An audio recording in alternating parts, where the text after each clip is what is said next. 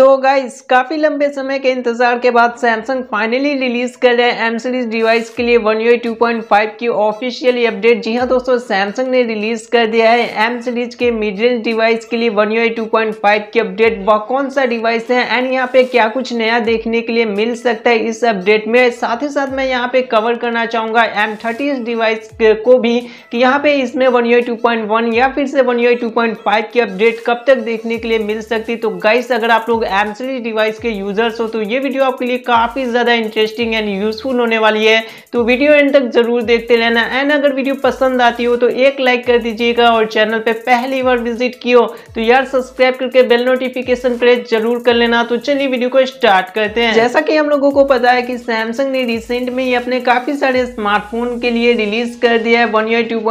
की officially update recent में ही सैमसंग के ए सीरीज़ डिवाइस में देखने के लिए मिली है। Like A seventy S A fifty one S seventy one and यहाँ पे जो नोट सीरीज़ की डिवाइस निकल के आते हैं Samsung note nine S nine और एस नाइन प्लस में फाइनली यहाँ पे इंडिया के अंदर one UI two point five की अपडेट देखने के लिए मिल चुकी है, जिसमें आप लोगों को काफ़ी इंटरेस्टिंग फीचर्स देखने के लिए मिली है। चलिए हम लोग बात कर लेते हैं यहाँ पे यार एम सीरीज़ का कौन सा डिवाइस है, जिनमें यहाँ पे one UI two point five की अपडेट देखने के लिए मिली है। तो कैस अगर आप लोगों के पास है Samsung M twenty one device तो गाइस यहाँ पे आप लोगों के लिए रिलीज़ हो चुका है वन 2.5 की ऑफिशियली अपडेट बात करें यहाँ पे चेंज लॉक के बारे में तो फ़र्स्ट ऑफ़ ऑल आप लोगों को यहाँ पे अक्टूबर 2020 का लेटेस्ट सिक्योरिटी पैच देखने के लिए मिल जाती है। इसके अपडेट फ़ाइल के बारे में बात करें तो यहाँ पे 649.53 MB की अपडेट फ़ाइल देखने के लिए मिल जाती है। इस अपडेट में आप लोगों को 192.5 की सभी फीचर्स देखने के लिए मिल जाएगी। बेसिकली आप लोगों को यहाँ पे फ्लैक्सिप फीचर्स तो नहीं देखने के लिए मिलेगी, क्योंकि दोस्तों यहाँ पे जो फ्लैक्सिप फीचर्स डिज़ाइन की गई है, वो गाइस यहाँ पे फ्लैगशिप डिवाइस के लिए डिज़ाइन की गई है बट यहाँ पे जो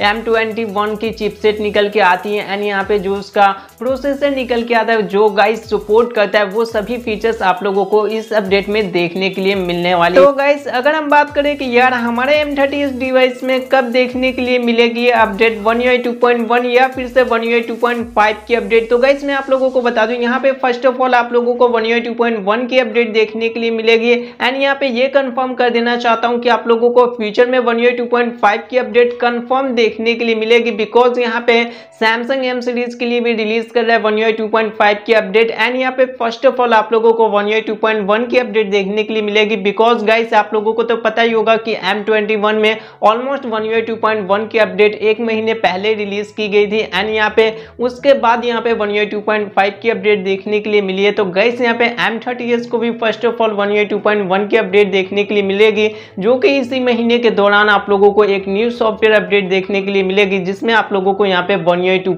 देखने के लिए मिलने वाली है। तो गाइस यहाँ पे आप लोग वेट कर लीजिए कुछ दिन, कुछ हफ्तों का एंड यहाँ पे फाइनली आप लोगों को एक न्यू सॉफ्टवेयर अपडेट देखने के लिए मिलने वाली है। तो गाइस आज की इस वीडियो में यही कुछ इन्फॉर्मेशन थी। वीडियो पसंद आई हो तो लाइक कर दीजिएगा और चैनल पे पहली बार विज़िट किया तो यार सब्सक्राइब करके बेल नोटिफिकेशन पे ज़रूर कर लेना। तो आज की इस वीडियो में बस इतना